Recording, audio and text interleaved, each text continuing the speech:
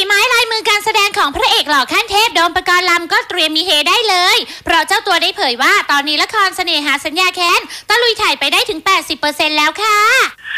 ละครก็ใกล้แล้วครับ ก็ 80%แล้วครับเสน่หาสัญญาแค้นครับ เป็นไงตื่นเต้นไหมคะใกล้ขนาดนี้ตื่นเต้นนะ เรื่องนี้ก็ทุ่มเทกันทุกคนเลยอะครับ แล้วก็ใช้เวลาถ่ายนานมากติดฝนไปช่วงหนึ่งอะไรอย่างเงี้ยดีครับ เรื่องงานหนุ่มโดมตอบอย่างแฮ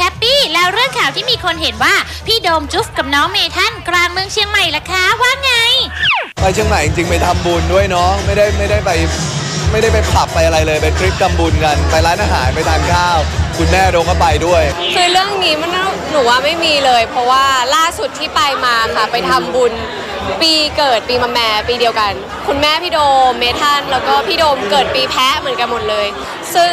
คุณแม่ไปด้วยก็ไม่ได้ไปเที่ยวอยู่แล้ว เพราะฉะนั้นข่าวนี้ก็ไม่จริงเลยค่ะ